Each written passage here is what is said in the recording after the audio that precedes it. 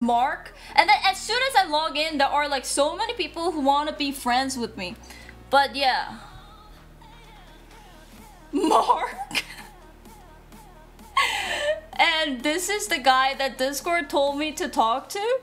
And this is the guy who recognized me. Are you streaming now? See? You know, if if only I was so popular like I am in MIF.